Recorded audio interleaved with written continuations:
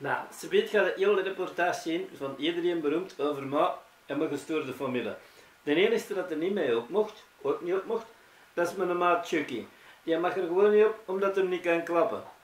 Een hond kan nooit niet klappen. Bij Samson steken zijn hand in deze gat en dat wil ik niet doen bij mijn hond. Daarmee, de pot van onze Chucky. Joe, veel plezier erbij.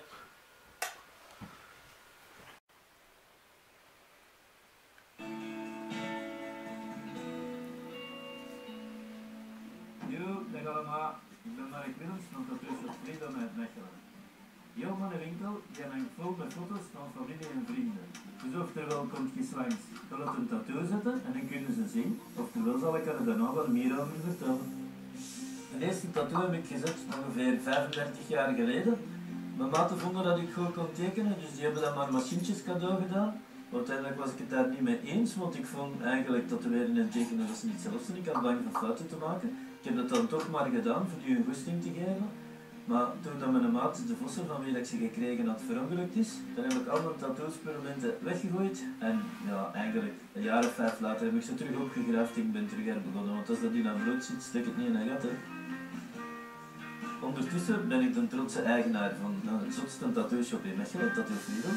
En natuurlijk, mijn vriendin is vaste klant bij mij en dat een vrouw zonder tattoos komt aan. Dat woordje, dat is de grens van het heiligdom. Daarvoor mogen de vrouwen niet pijn doen, erachter, ja, dan schakelde dat uit. Als iemand een tattoo krijgt, die weet dat dat pijn doet. Dus hier achter het mag dat. Vrouwen hebben er nog pijn hè, als het om tattoos gaat. Vast en zeker. Die zijn daar ook eerlijk in. Als die vinden dat het niet gaat, dan zeggen die gewoon stop even, want het gaat niet of zo. En dan stopt je gewoon tegen, ja. Een deel van de mannen die zullen dat proberen te verstoppen. Dan zo van die grappige situaties dat in één keer die hele licht uitgaan en dat je niet kunt oprapen van de grond. Zo. Dat was die, en die, die reep in één keer heel hard zo van, hé, ik hoor niks meer wat hè? En dan weet ik wat te zeggen van de stoel. Daarachter was die wakker weer, ik zeg tegen hem, zeg, wat riep te gaan aan? Maar jong, dat was raar, zei hem, dat was precies of ze deden eerst met een volumeknop toe en dan deed ze mijn licht uit. dat is echt zo, als die manier waarop hij dat uitleidde, dat vergeet ik nooit niet. Volumeknop toe en ze licht uit. Ah, jammer, jammer. Het zijn toch raar mensen op aarde. De enige in de familie dat geen tattoo heeft, dat is mijn zoon Tommy. Van onze Tommy zouden nooit zeggen dat het mijn zoon is. Die is een heel pak giftig. Hij is dan ook een grote Disney-fan en ik heb eigenlijk nog nooit een Disney-film van dichtbij gezien. Eh, dat is een foto ook in eh, Disneyland. Ik denk dat ik toch al 15 keer naar Disneyland Parijs ben geweest. Ik ben naar één ander park gegaan, eh, in Florida, de Disney World. Daar zijn we drie keer geweest. Als we ons huwelijksreis aan het kiezen waren, dachten we van ja, we willen wel naar Disney World. Maar we waren al samen geweest en gewoon hetzelfde doen met Lake Society. Dus zijn we met al onze vrienden gegaan. En, uh, een buddy moon noemen ze dat dan. Dus zijn we met uh, acht man naar, uh, ja, naar Disney World gegaan eerst. Maar omdat het een huwelijksreis bleef, hebben we daarna een, een cruise gedaan met twee. En ja, Disney heeft ook eigen cruiseschepen. En we vonden dat heel leuk. Zo'n cruise met kinderen is een heel andere beleving. Nu konden wij s'nachts gaan wandelen op het dek en spelletjes gaan spelen en zo verder. Dus, vreemd genoeg wisten we dat het een vakantie was dat we zonder kinderen moesten doen. En onze volgende cruise is waarschijnlijk ook zonder de kinderen. Ja. Als we het moeilijk hadden, dan heb ik altijd gedacht van achteraf wordt het wel beter. Hè, zoals, in, zoals in de meeste films. Um, we hebben heel lang moeten wachten op ons pille, ons eerste kindje. Um, maar daar wisten we zelfs in, momenten dat, dat dokters zeiden van op een natuurlijke manier gaat dat waarschijnlijk niet lukken. We hebben gedacht van dat komt wel op een manier in orde. En inderdaad, ja, waar dat iedereen dat opgegeven, daar is ons pilar gekomen. Ons eerste kindje. En niet veel later ons Robin. Die boodschap zit ook in, in alle Disney-films. Je moet, moet er wel even voor werken, maar uh, het komt uiteindelijk wel in orde. Ja. Dat Disney gedaan, dat heeft hem zeker niet van mij.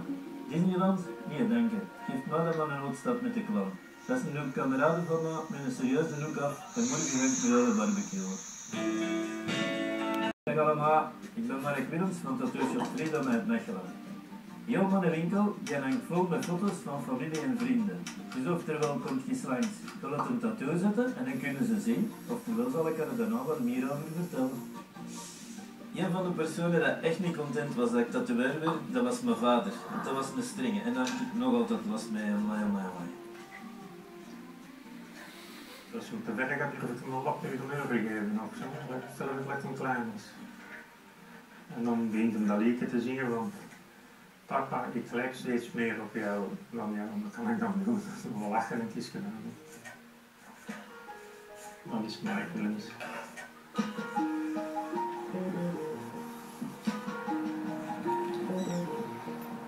Merk is dat waarde nu, want vroeger vond ik dat niet goed.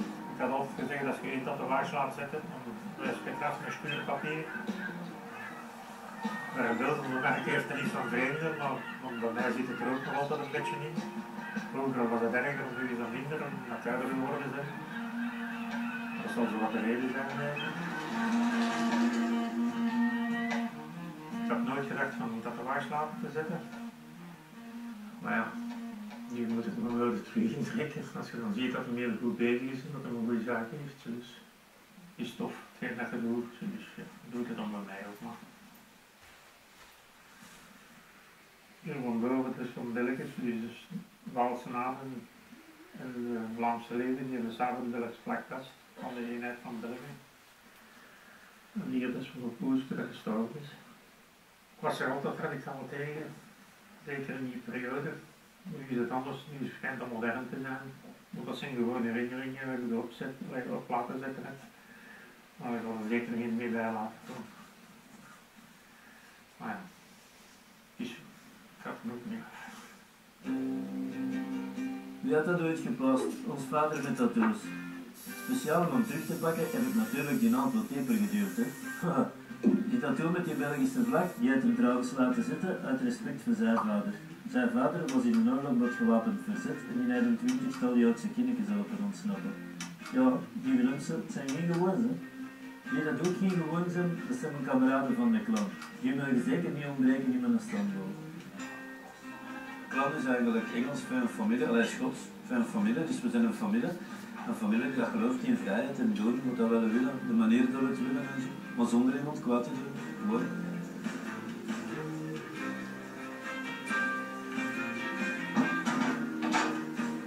Die klan is eigenlijk ontstaan met dat we meedoen met de Highland Games in Mechelen. Dat moesten wij acht man zijn, plus de kapitein zo gezegd. Maar na een tijd, ja, is die groep eigenlijk meer uitgegroeid tot een familie. En doen we niet meer alleen mee met die Highland Games, maar doen we van alles, barbecues. We gaan samen naar Dardenne, we gaan samen naar Normandië. We dat doen van die onnozelkunde, omdat we dat plezant vinden en zo. Omdat wij een groep gelijkgezinden zijn.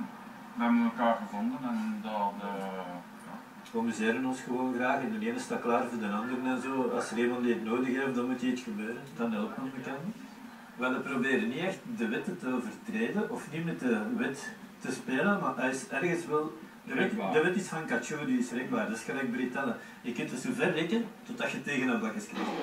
En dat is niet rebelleren, dat is dat gewoon amuseren. Allee, ja.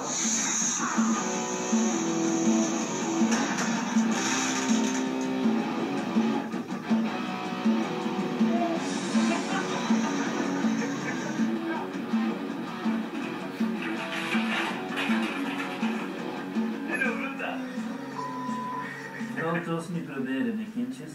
Morgen laat ik jullie zien dat ik ook wel eens een keer serieus kan zijn. Dan ga ik me inzetten voor de dieren in het asiel. Yo, dag allemaal. Ik ben Mark Willems van Tattooshop Freedom uit Mechelen. Heel mijn winkel die hangt vol met foto's van familie en vrienden. Dus oftewel komt je langs, je laat een tattoo zetten en dan kunnen ze zien. Oftewel zal ik er daarna wat meer over vertellen. Mijn dochters die kunnen hun pakken niet lang missen. Hè. Die springen geregeld binnen langs de tattoo-shop en dan komen ze zien met wat ik bezig ben en geven hun mening. Annette of zo. Van Bloemeke Mereet. Oké. Ja, maar iets speciaals? Meer dan een hartje? Met vleugels en zo. Ja. Mijn dochters zijn wel twee papa's kindertjes, maar dat is omdat ze eigenlijk geen moeder hadden in hun leven. Ik heb hun grootgebracht. Ja, wel eens een moeder gehad, maar dat was maar part-time. Dan alleen maar een fulltime vader. Daarom zijn dat twee papa's kindertjes geworden en krijg ik zelfs cadeautjes van mijn moedertjesdag soms, hè, voor goed te maken dat ik een mama ook soms ben. Dus ik vonden wij dat niet zo moeilijk van groot te worden zonder mol. Maar, We hadden het eigenlijk perfect bij vader, dus fulltime papa zijn. Al valt dat wel mee. Eigenlijk is onze papa niet te streng. Ah, die kon precies nooit alleen zijn. Je kunt je niet alleen laten.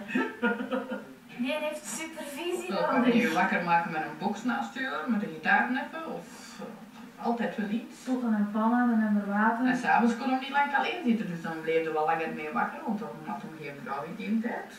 Dan bleef hij wel langer wakker, maar dan moest je zeg. s morgens ook om 7 uur eruit. Ik kan echt niet alleen zijn. Als ik alleen ben, begin ik me te vervelen. Dan vang ik bullen aan. Dan ga ik van alle dingen doen dat niet teugen. Of dan ik iemand beginnen te koeieneren dat in mijn omgeving is. Iemand dat sloopt, maak ik wakker. Iemand dat rust, die ga ik treiten. Als ik vroeger hierboven woonde, dan ging mijn deurbel regelmatig af. En dan mocht ik naar beneden komen voor even in te springen eigenlijk. Of voor naar de apotheek of zijn klusjes. Meestal van over achter eten. Wat daar komen. Ik was het grootste kind. Ik was van, allee, lichamelijk de grootste, maar voor de rest was dat één groot feest. Maten en ik die gaan samen in het asiel een relaxruimte maken voor de honden. Dus gaan we daar eens eens een keer een bezoekje brengen en die plannen zo bespreken. Ja, tegen die achterste muur daar gaan we die chalets bouwen. En van binnen zouden we dat dan inrichten, gelijk echt gelijk een living eigenlijk. Speelruimte. Dat er wat oefeningetjes kunnen gedaan worden hè? en een beetje een parcours kan uitgezet worden. Ja. Vorig jaar hebben we een 24 uur een tattoo-marathon gedaan in een tattoo-shop. En daarmee, met dat geld, hebben we dan samen met de mannen van de klan het kattenverblijf in de dierenbescherming verbouwd. Af en toe dan doen we dan iets voor een goed doel, zo met de klan, dat is ja, een club van kameraden. En omdat eigenlijk een van de dingen is dat al die mannen gelijk hebben, die hebben allemaal dieren thuis. Dus die hebben allemaal een hart voor dieren. En toen hadden we gezien dat die pozen hier in nogal kleine hokjes zaten en we hadden gevraagd dat we met die kamer iets mochten aanvangen. En zo is het dan begonnen. We hebben dat helemaal ingericht naar ons goesting. We hebben daar wat tekeningen ingezet. Wat van die hindernissen en zo, dat die beesten hem kunnen bezighouden. En dan zijn die gelukkiger, die zitten niet goed. Als een hond kwispelt, dan meent hij dat. Als hij groot, dan meent hij dat ook. Dan is het best dat je met een poten afblijft. Maar de mensen die dus schijnheilig als dat hem groot is. Dus ik denk de meeste mensen die dat hun aangetrokken voelen, de dieren, of die dat voor dieren niet doen, dat zijn er ook die dat het hart op de juiste plaats hebben. Dat is normaal dat je die beesten graag ziet en zo'n hond en een kat, dat blijft normaal bij jou van de geboorte totdat het sterft. Dat kunnen mensen van apartment niet zeggen. Zo. Dus is dan wel beter dat je een hond pakt, verzekerd te zijn dat dat bij jou blijft. Dus, zie, is toch lief. Wie dat er ook een klein hartje heeft, dat is mijn koze de Vijne. Vroeger was dat een echte biker, maar nu is dat verleden tijd geworden. Allemaal. Ik ben Mark Willems van Tattooshop Freedom uit Mechelen. Heel mijn winkel die hangt vol met foto's van familie en vrienden. Dus oftewel komt je langs, wil het een tattoo zetten en dan kunnen ze zien. Oftewel zal ik er daarna wat meer over vertellen. Als je dan mijn dochter, die doet zo wat haar eigen ding, dat is ze nog geen vreemde, ze trekt op haar papa. Die is nu een opleiding aan het volgen in de cipier. En voor haar examen oefent ze dan af en toe in de simulatieschool. Vijf, zes.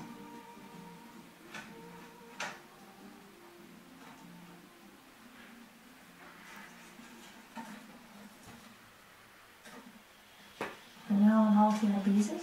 En dan leren we zoals hier fouilles te doen. Zowel aftasting van de personen op scherpe voorwerpen. En kijken we ook in de cellen na. Het bed en al controleren. Zien dat daar niks onder steekt. Dus, nou, ziet er allemaal in orde uit. Mijn pa, die hoopte dat ik een grapje maakte.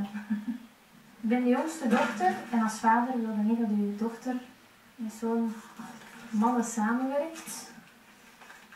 Ik heb geprobeerd van te tatoeëren, maar ik merk toch van als ik zie dat die klanten pijn hebben, dat ik meer de neiging heb van te stoppen. En hier, dat empathisch zijn, je doet hier geen mensen zeer en je hebt juist meer begrip voor die mensen dat hier zitten. Je onthoudt wel altijd van, oké, die mensen zitten hier wel omdat ze fouten hebben gemaakt.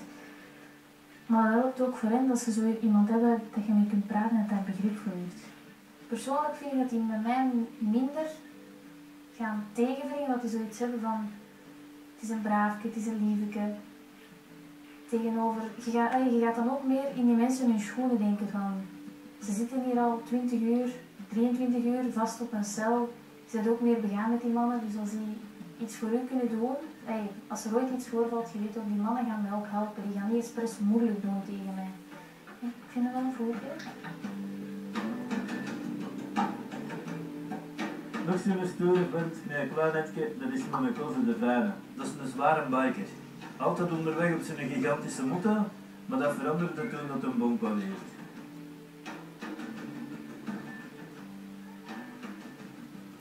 Vroeger was het hier een manscave, maar verleden tijd. Je maakt hem dat een kidscave van. Hier hadden we een, een bank, een grote tv. Echt voor de mannen, ook ingeven. Jack Daniels met de voetbal, dat was geneten. Maar vroeger was ik een biker en nog een losbolletje, dus eh, ik was altijd weg. Klopt. Dat speelde weinig geneten. En sinds dat ik kinderen ben, zeggen ze dat of sorry.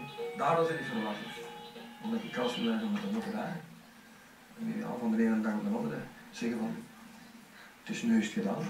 Ik draag nog altijd mijn bikersvest en zo. En, maar als we gaan wandelen, ik loop met de facteur, met de twee kindjes in, ja, op de markt. Nu zeggen ze tegen mij, Tato, dat is van uh, Pompa of Opa. Ik denk niet dat ik er al uitzien als een Pompa, misschien is het mijn klak, kan, ik weet niet. Maar Tato kwam, ja, wat tatoeages en zo. En ik, ik zocht iets in mijn dienst. Dus je ziet dat een Tato een biker is geweest. Hè. Dus dan moet er nog ergens bij. Dat kan op plaats genomen zijn. Dus. Dan- dat is nog een beetje in de. Dan blijft dat als. Ja. Fijne, als je nog eens een Turkje wilt doen, dan bel me maar op, jong. Oké? Morgen is dan ons Cindy. Ons Cindy is bijna letterlijk getrouwd met haar beesten. Ik ben Mark Willems van Tattoo Freedom uit Mechelen. Heel mijn winkel die hangt vol met foto's van familie en vrienden. Dus oftewel komt je langs, je laat een tattoo zetten en dan kunnen ze zien. Oftewel zal ik er daarna wat meer over vertellen.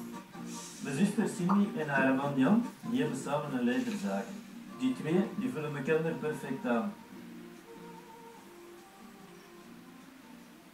Ik ben woordvoerder, want Jan spreekt niet graag. Jan doet graag.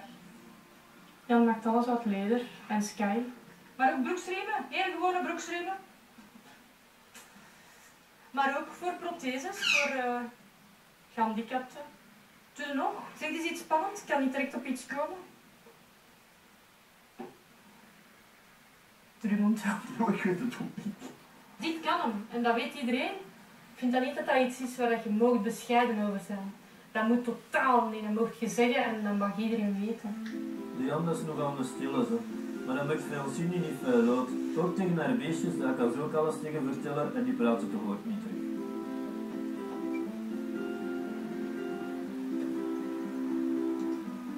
Dat is Lily. Dat is de Vries met één oog. Die is bij ons gekomen als ze ook een jaar was. En klaar voor het slacht. Omdat haar andere oog bij een ongeval op de wei eruit is gestampt.